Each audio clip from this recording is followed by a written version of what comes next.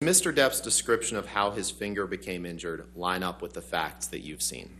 No. Have you ever imagined the possibility of auctioning a few of the properties related to the very controversial defamation case of the year? Well, guess what? It seems like more properties associated with Johnny Depp and Amber Heard are getting so in demand that people want to own them. In fact, the luxury mansion where Depp allegedly lost his finger is up for grabs, and you won't believe how much people are willing to pay just to get their hands on it. If you want to know the details, make sure to keep watching. Okay, so based on the trial, we all know about the infamous incident in Australia. And if you were able to tune in, you will also be aware that during this time, Johnny severed his fingers after her threw a vodka bottle at him.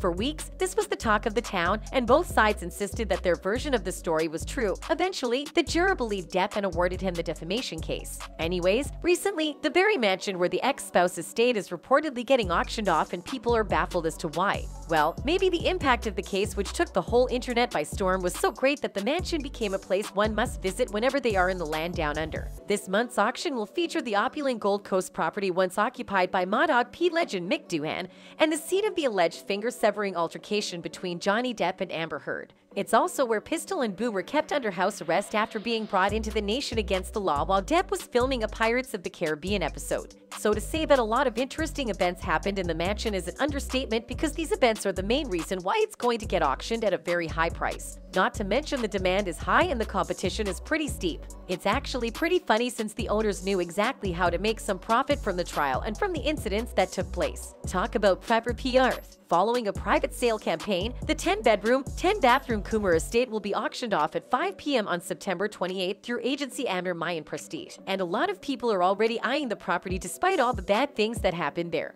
Well, maybe it's even the reason why a lot of people want to own a mansion in the first place. I mean, I think it's pretty exciting to sit on one of the bar stools and imagine how Johnny basically got his fingers cut off by his ex-wife. Who knows? If you can recall, the Pirates of the Caribbean star testified how he hurt his finger after Amber threw him a vodka bottle. I walked behind the bar, and there was a larger bottle of vodka, the kind with the handle, you know. I grabbed that and I went and I sat in my seat again. I opened the bottle and I poured myself a shot and drank it.